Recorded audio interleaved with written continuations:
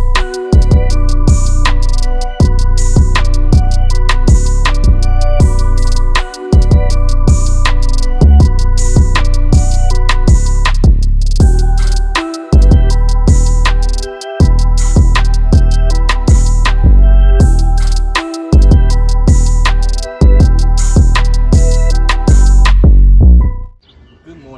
Island people and welcome back to another video. So in today's video we got a 2010 Buick Lucerne and this will be my first time really cleaning a cloth top. So I'm going to show you the process that I take to clean the cloth top.